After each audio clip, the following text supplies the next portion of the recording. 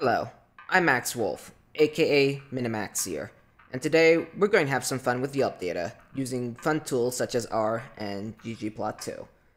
The Yelp Dataset Challenge is consists of a publicly released dataset by Yelp where anyone, well preferably student students, can play with Yelp data and then submit their findings for potential prizes.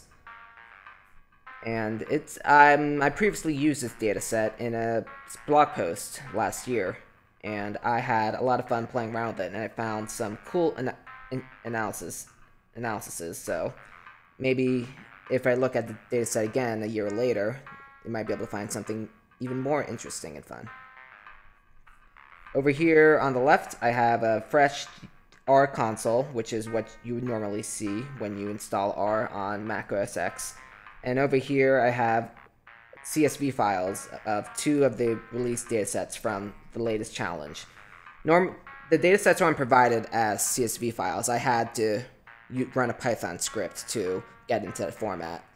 And I will upload those Python scripts with the with the video as well. Unfortunately, I can't provide raw data as that's against their terms. So let's go play around with R. One of the first things we want to do is, with R is load a couple packages, which I've already installed. For example, we want to load the readr package, which is necessary for reading CSV files at a fast pace.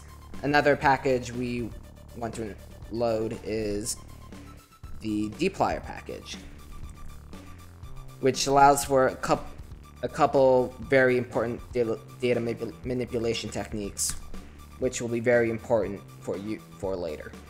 And lastly, we can load dplyr we can load, never mind, we can load ggplot2.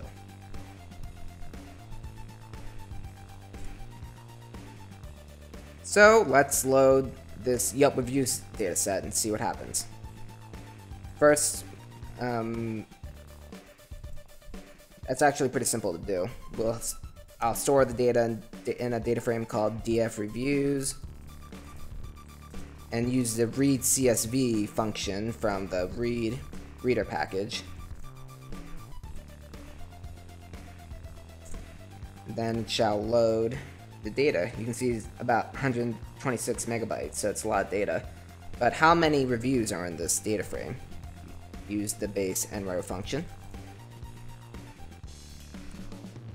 It's 1.5 million, which matches the, their 1.6 million pretty closely, so that's a good sanity check.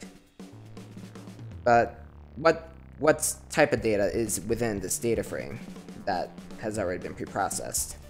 Well, since we since we loaded dplyr ahead of time, the data frame is a is a TBLDF, which it comes with the dplyr package.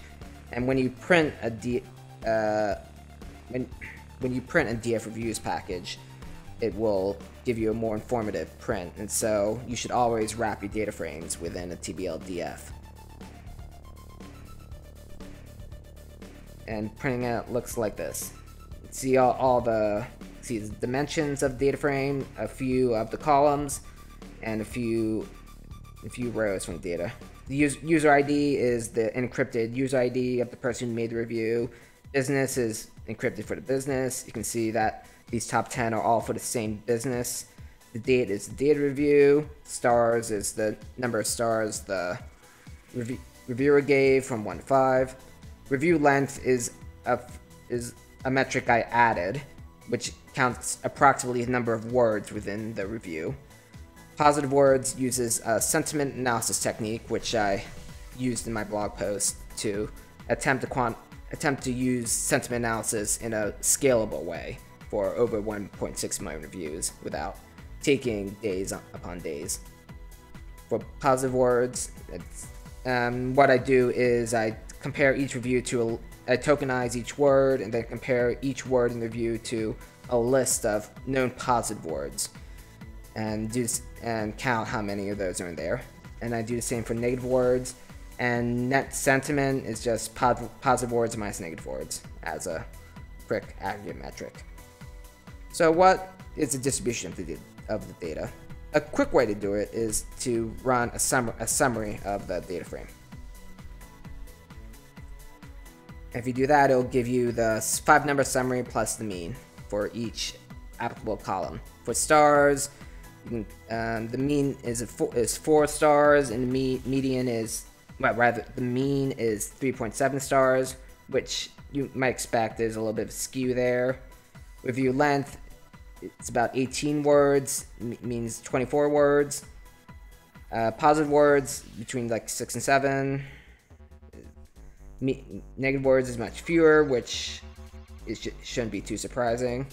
Net sentiment is just it, mathematically it should be re related to these terms, so that's not too surprising. But how can we visualize these metrics? But since we loaded ggplot2 already, we can run a qplot on on the, on I guess a, a certain column, like stars, for example. First, we specify the the data where where the data is, which is in the DF reviews data frame, and the and the variable of interest, which is stars.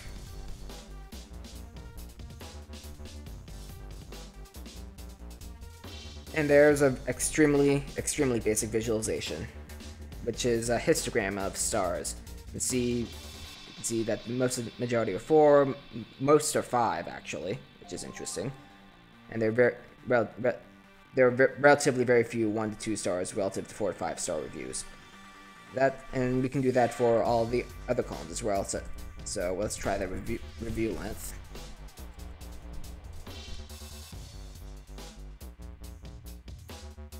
As you might expect, it, it's it's very skewed. It decays very quickly, and since, and since positive words is strongly correlated with the view length, you'd probably have the same look as that visualization.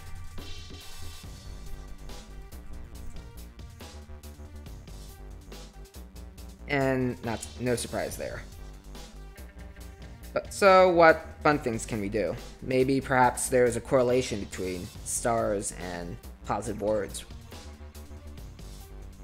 Um, we can also we can just do a qplot for that too, and just call both variables. And since we provide two variables to qplot, it will produce a scatterplot as opposed to a histogram. Or not. Oh. Type. Silly typo. Uh, however, it does have to plot 1.6 million views, and that might take a little bit of time.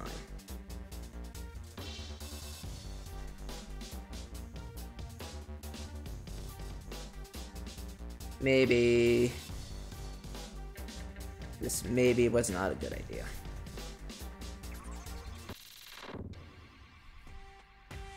I may have to edit this out in post.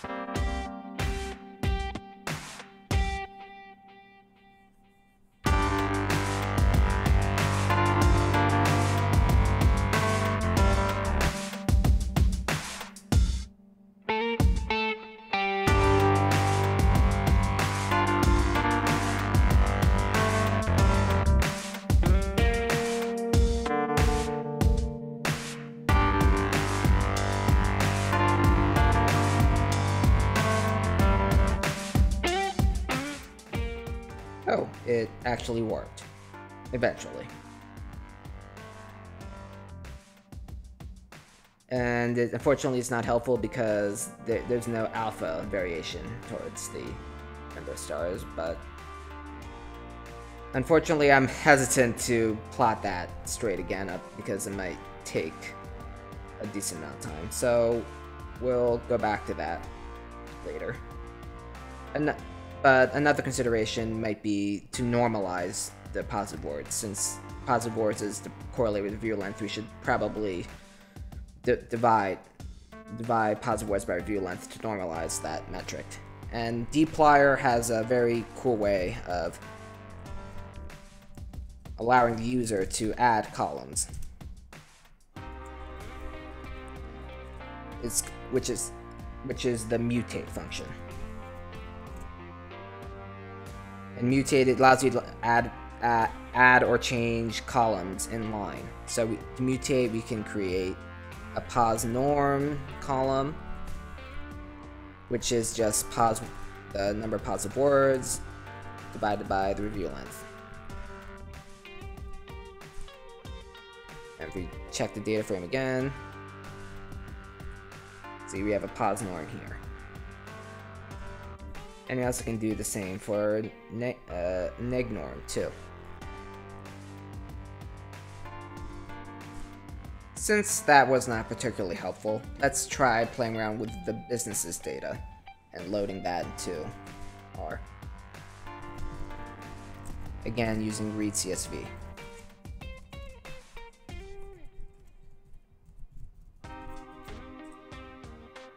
And how many businesses are in this data set?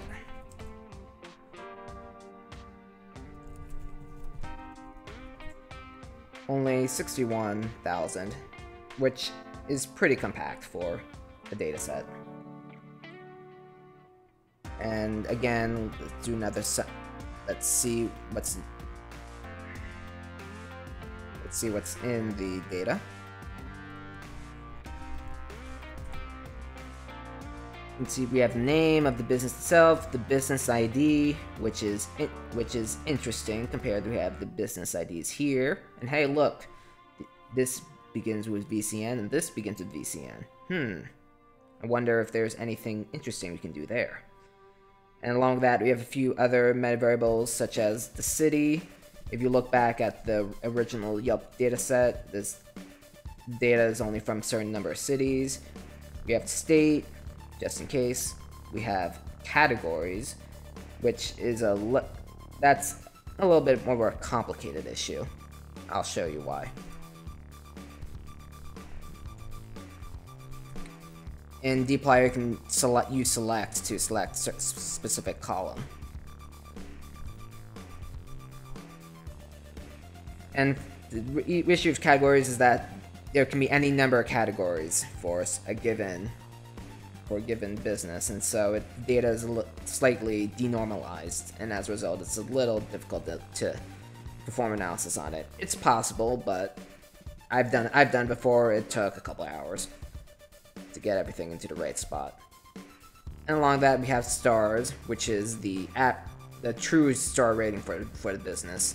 It can be in half star increments too. And the review count, which is the true number of reviews.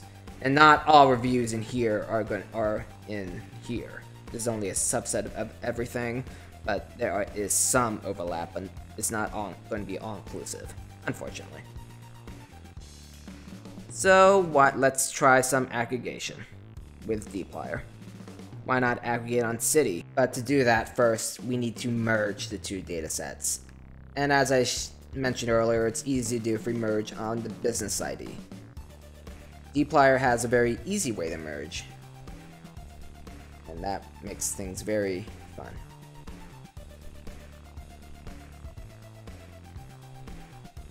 Again, we use reviews and the keyword is left join. As in SQL, you have your joins, you have your inner join, you have your left join, you have your right join. It's the same principle in dplyr. And we'll left join on the business's data frame. And since they both have business ID, it's it'll be it'll be smart about that and do automatically join on that.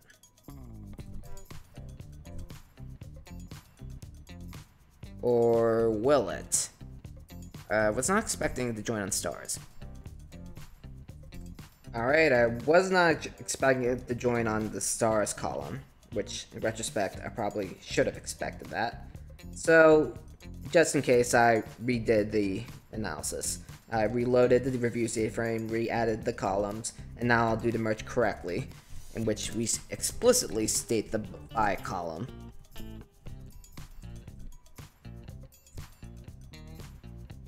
And now everything should be perfect. So if we, which case we basically have stars X and stars Y. That's valid. The stars X comes from the left data frame, which is what we want.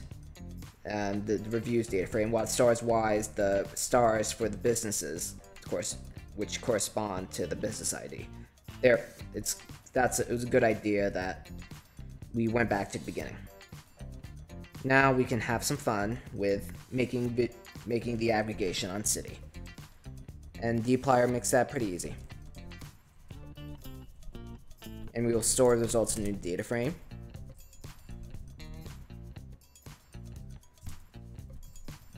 Do that, we'll, we'll we have we have to aggregate as you would in SQL or languages like that. We'll group we'll group we'll group by city. And then if you do, do if you do if you aggregate, then you can use the summarize function in dplyr to do mathematical interpretations of it. For example, to summarize, we'll just for now just do stars. Do average stars, rather.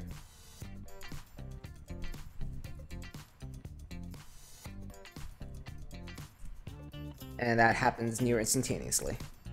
Now, what is the result? Uh, what? That's not good. Apparently, the cities are not particularly reliable. Thanks, Yelp. Uh, there's a few more things we can do.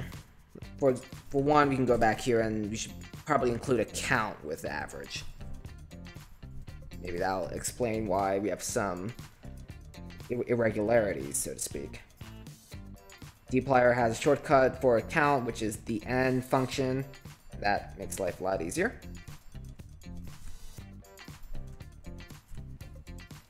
And that makes more sense. You can see some have only a few entries, which, again, I'm surprised is happening, because Yelp's it explicitly says the cities, so you'd expect the cities to correspond specifically, but it does not. There is a way to fix this. We can er-, er-, er-, sort by count, and sort by count descending, which is use the arrange function in dplyr. And we'll arrange descending count. There we go. That makes significantly more sense. We have Las Vegas as the most by significantly. It's about third. About third. Wow. And Phoenix with an another large chunk. But from the top here, it doesn't appear to differ significantly. Although I have a feeling that there may be some data fidelity issues, since we're missing a lot of the cities, um, that, since they have irregular names. Although, when you look at this particular map, you can see that there is no state overlap between any of the cities. Therefore, it might be better if we change it to aggregate by state. Do that, you just change a single variable. And maybe the data frame name too for consistency.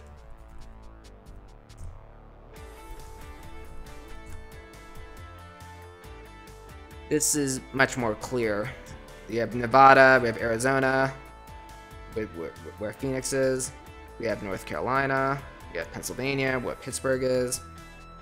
And from the looks of it, the average star rating doesn't vary that much, unfortunately. But maybe this serves as a good starting point for a data visualization. And so you can see how the inner workings of R work, and it's actually pretty cool.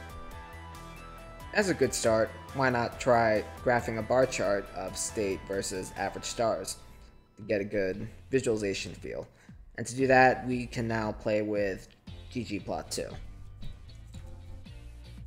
Setting it up is pretty simple, although I will warn you in advance it will require a significant amount of tweaking.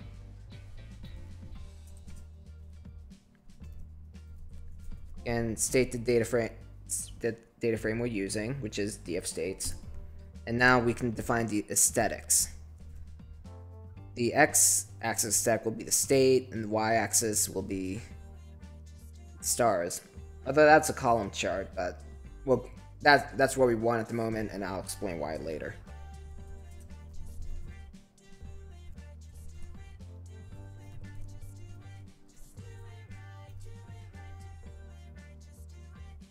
Although, um, theoretically in G, this is actually on ggplot 2 at 2.0.0. And as a result, that implements a new feature in ggplot 2 where you can plot a data frame that's empty.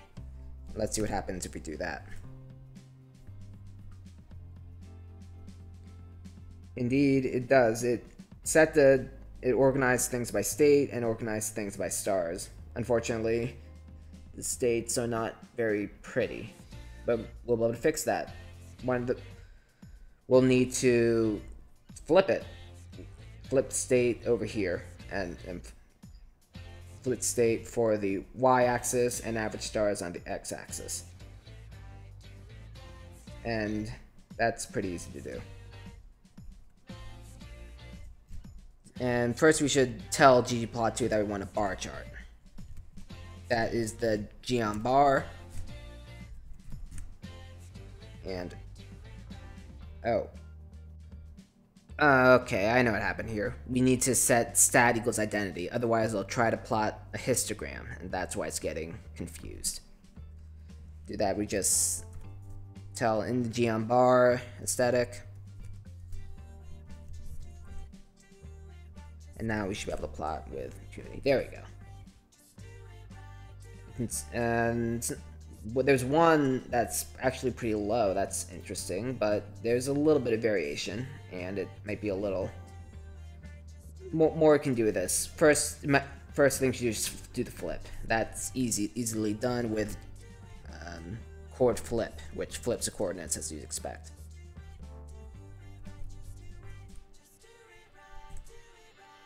There you go. And now we have the variable. Now we have the, we have what we want. Although the order is not greatest. What the order is technically alphabetical order. It goes from A, B, C, and so on and so forth, from the down up. And the order we want is descending order, from largest stars to smallest stars. And that requires an interesting trick. And to do that, we, we need to mutate the state column.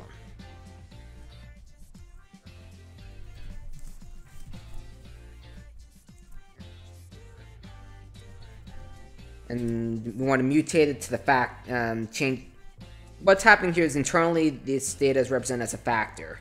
And we want, and the ordering of the factor is the by default alphabetical, so we want to change the ordering to be this descending by count. That's easy enough to do.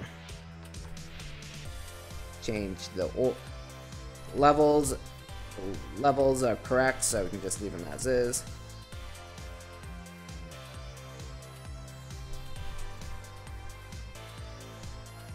But the levels. Uh, what?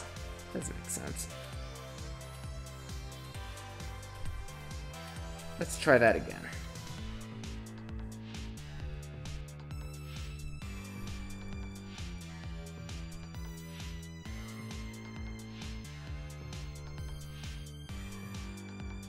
So I figured out the problem, I think. So I took at the last few elements of the of the data frame, and there were a few repeated star ratings, and that's why things are getting very screwy. Uh, but really, we shouldn't even be looking at these and such. So we might add, I'll add a filter to it as well. To the creating statement. And to do that, we use the filter command and, and just filter using any inequality. So since it looks like the breaking point is about 2000, we'll just count 2000. Why not? I misspoke earlier when I said I sh we should be factoring on count. We should be factoring on the average stars instead, so things will be in correct order.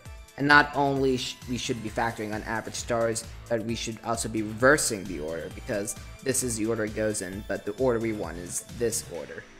That's still easy to do, although last time I said something was easy to do, something went horribly wrong.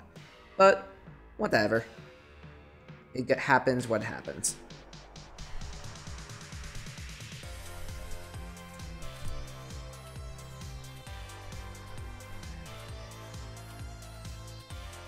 But first, we, um, as I mentioned, we should probably change the sorting order to to average stars.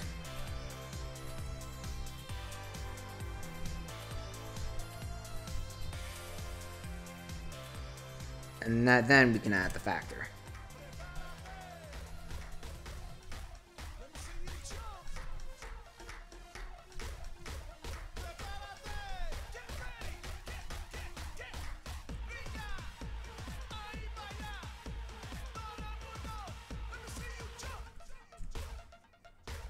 Now we can call the function again to make sure everything's all hunky-dory. Things are not hunky-dory. So, apparently, I'm a complete idiot, and the problem was very easy to solve. What we wanted was just to sort the data frame by average stars ascending, which is what we wanted, and then mutate the state column so that the order is the order's in the correct order, but the internal representation must be in reverse order. So you, you use the rev function on the state, and that should be it. And then if we just rerun rerun this plot, if I remember how to plot it again, everything should be in the correct order.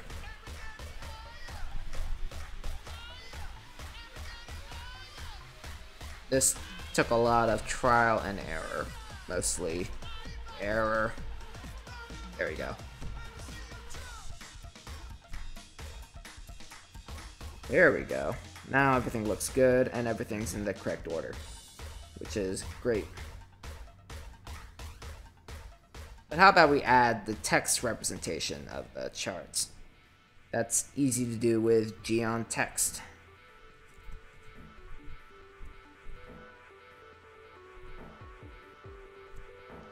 And then we can just use the text to say what the average stars are.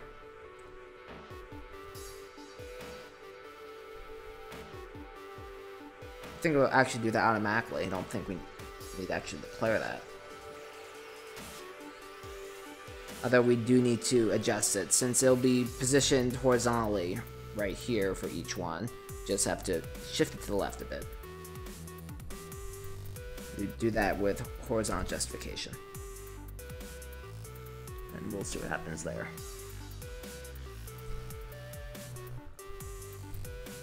I am giving up on saying anything is easy anymore. But this is a simple fix. It is not an easy fix, it is a simple fix.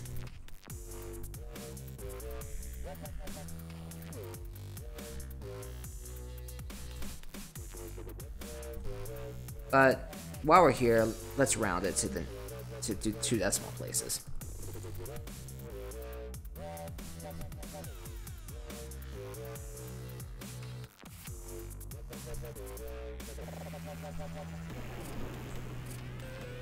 And I was apparently wrong with the H direction. It should be positive 1 instead of negative 1. You can see there's a missing 3 here, and that's generally not good.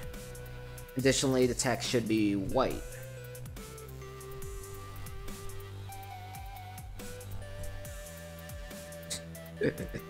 Rather, white should be in quotes, so to speak. There we go. Now we have a good, good visual representation of where the data lies. And it's zero-centered, too. And there is a way to fix the 3.7, but that's for another.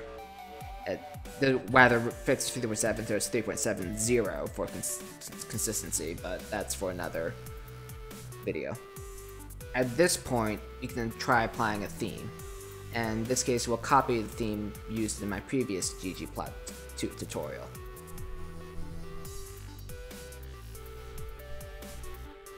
Which I just find by Google because I'm pretty lazy. And this is um, this is from my ggplot2 tutorial, which is also a step-by-step -step teaching tool.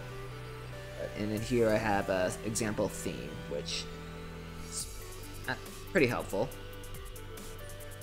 and gets and is does it and it's pretty flexible too it's based on the 538 theme, which I think they're trying to phase out of a little bit. Although, as a default theme, it makes life a lot easier. It, the function is named FTE theme, so all you have to do is add it to this plot function.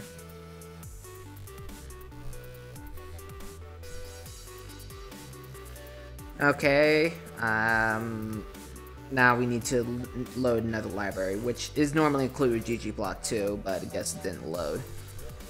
The library is RColorBrewer. And now, now should work. Oops.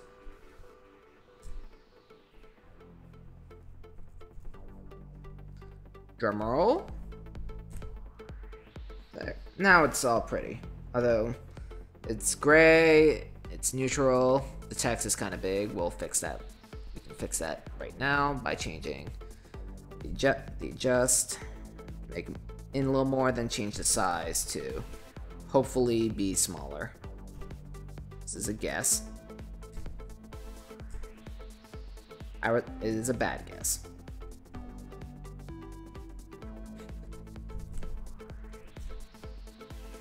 Okay, that, that'll work. Other than that missing 3, 3.70 is kind of disappointing.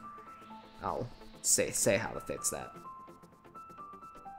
But now we can change the labels. That's easy to do with the labs command in ggplot2 the x-axis is average star, so average st star rating. Y-axis is state. Although technically some are Br British and Canadian provinces, but whatever. And then the title is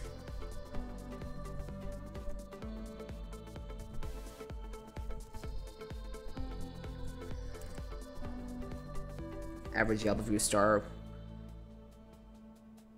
ratings by state. Although technically it's not by state, it's by a city area in a state, but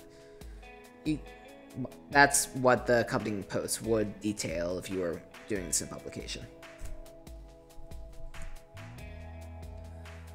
Uh, and then we hit the other issue I was concerned about because we're flipping the axis here, we have to flip the label names, the label axes. So this has to be on Y, it has to be on X. And that's another caveat I keep hitting, and it's very annoying, but what can you do? And again, uh, average average pound rating is not good. Not not doing hashtagging hashtag rating. aperture for reviews in state since we have space.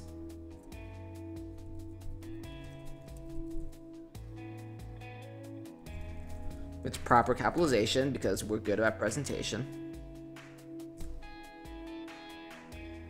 And since we're here, why not do things a little more fancy? Let's go back to our original data frame.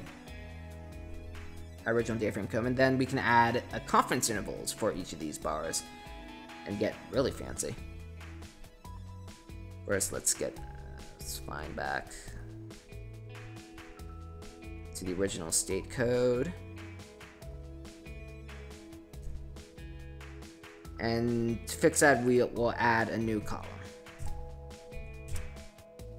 A new column, which is the standard error for the mean. And standard error mean is the is the mean Rather, no, no it's not. It's the standard deviation.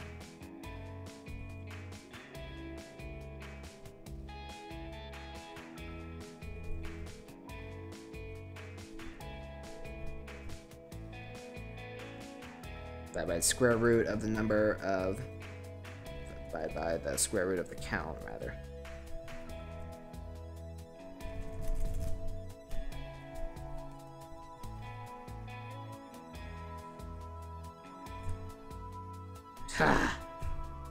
I'm being very typo-y today.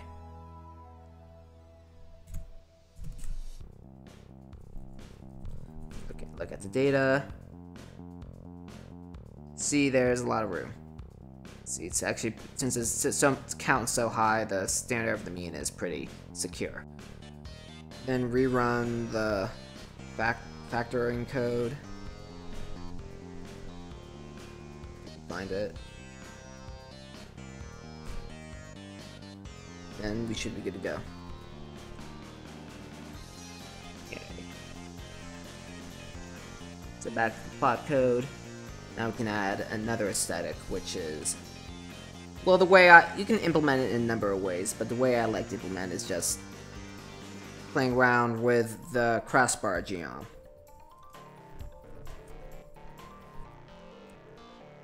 And uh, the the minimum with the geom geometry said minimum and maximum. Although since we're flipping the ax axes, this could be more complicated. Let's see what happens. And there's a high probability I'll get yelled at. The X-min for the crossbar will be will be the will be the mean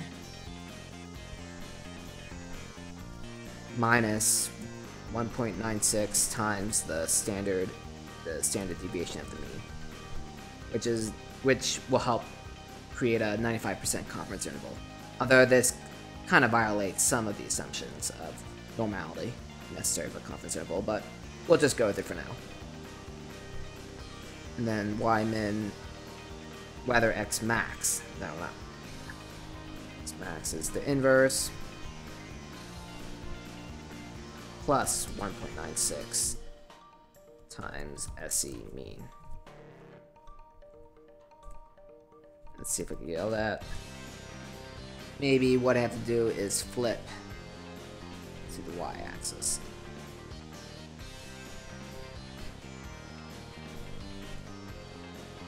That did it? Sorta.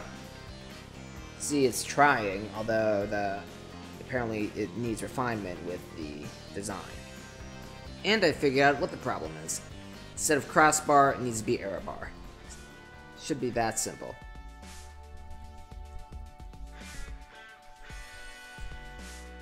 There we go.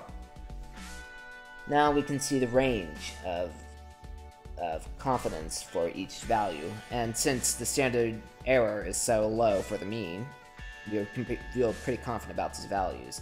Although, if we want to determine if they're statistically different from each other, we'll need to run larger tests, which unfortunately is outside the scope of these.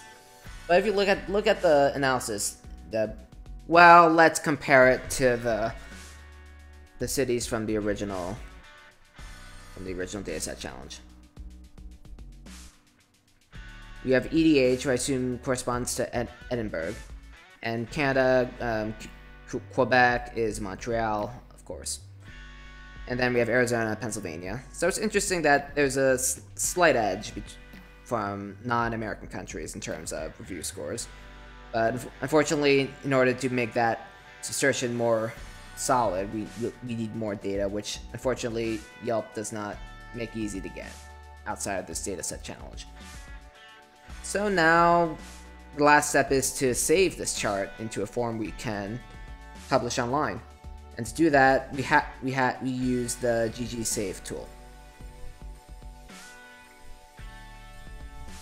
and we ggsave the plot. You can give it a name. My lovely ggplot2 chart.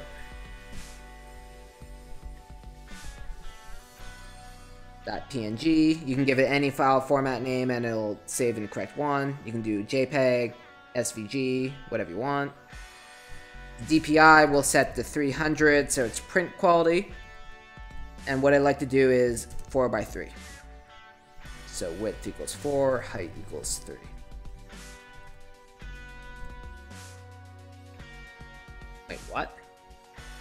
Alright, once again, I'm especially done.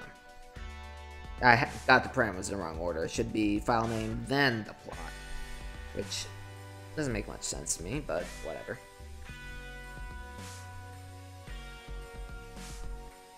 And there we go.